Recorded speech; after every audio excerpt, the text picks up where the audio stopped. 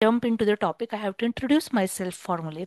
I am Dr. Bhanupriya and I'm practicing as a palliative physician at Khandesh Cancer Center. I am associate professor at ACPM Medical College.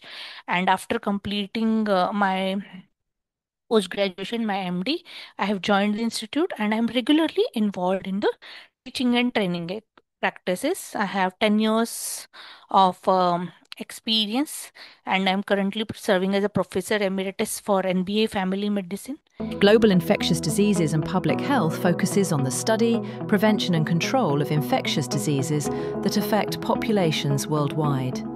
It emphasises protecting communities through research, healthcare policies and global collaboration. So whenever we talk about the infectious agent, we, we are talking in terms of agent which can cause infections which can lead to two outcomes okay uh, stay first natural history as preclinical preclinical then clinical and then there will be outcome as a disease or death Global health challenges and emerging infectious diseases highlight the threats posed by new and re emerging infections worldwide. They stress the need for rapid response, innovation, and international cooperation to safeguard public health. So, whenever I talk about the global health challenges and infectious diseases, we are utilizing uh, an approach which is called as One Health approach. And One Health approach is something which we need further discussion.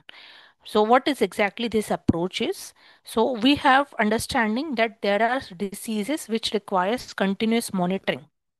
Okay, continuous scrutiny of all the factors is called as surveillance.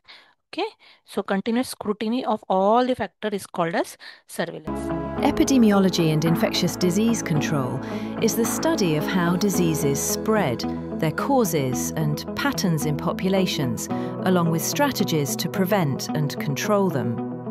It focuses on surveillance, outbreak management, and public health interventions to reduce disease impact.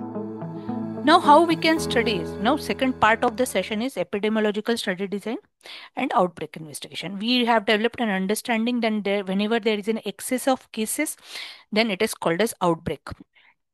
So, this outbreak need to be studied and this outbreak need to be first confirmed. Is it really an outbreak? It is a, just endemicity or just a sporadic nature of a disease.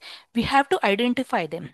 So, we need to carry out uh, investigations okay? So it is called as investigation of outbreak or outbreak investigation and we can carry out using uh, flowcharts given by the IDSP or we can simply go into the epidemiological study designs where number of cases which are reported you create a cohort of it follow it find out the determinants of diseases find out the natural history what will be the outcome that will be cohort study a group of people showing similar characteristics is called as cohort like this demo class?